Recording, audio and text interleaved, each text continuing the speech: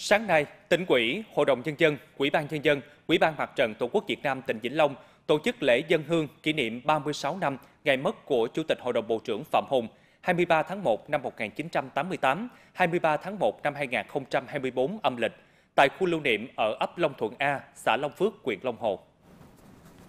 Tham dự lễ có ông Bùi Văn Nghiêm, Ủy viên Ban chấp hành Trung ương Đảng, Bí thư tỉnh ủy, Chủ tịch Hội đồng Nhân dân tỉnh, trưởng đoàn đại biểu Quốc hội đơn vị tỉnh Vĩnh Long.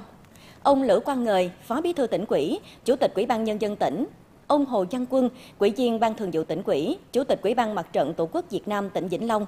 các đồng chí trong Ban Thường vụ tỉnh ủy, Ban chấp hành Đảng bộ tỉnh, các đồng chí nguyên lãnh đạo tỉnh, lãnh đạo các sở ban ngành, các quyện, thị xã, thành phố trong tỉnh, đảng ủy ủy ban nhân dân, các gia đình tiêu biểu xã Long Phước, các doanh nghiệp trong và ngoài tỉnh cùng nhân dân gia đình Chủ tịch Hội đồng Bộ trưởng Phạm Hùng.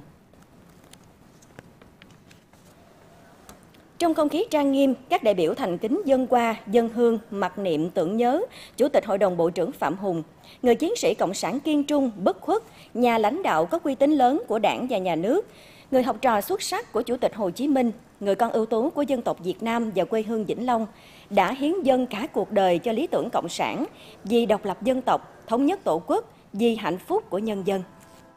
Đồng chí Phạm Hùng, tên khai sinh là Phạm Văn Thiện, sinh ngày 11 tháng 6 năm 1912, xuất thân trong một gia đình nông dân ở xã Long Phước, huyện Long Hồ, tỉnh Vĩnh Long. Cuộc đời và sự nghiệp cách mạng của đồng chí luôn gắn liền với những chặng đường đấu tranh đầy gian khổ, hy sinh nhưng rất vẻ vang hào hùng của đảng và nhân dân ta. Đồng chí đã có nhiều đóng góp quan trọng trong xây dựng chủ trương, đường lối của đảng, chính sách pháp luật của nhà nước và vận dụng sáng tạo vào thực tiễn hai cuộc kháng chiến trường kỳ của dân tộc, cũng như trong sự nghiệp xây dựng và bảo vệ Tổ quốc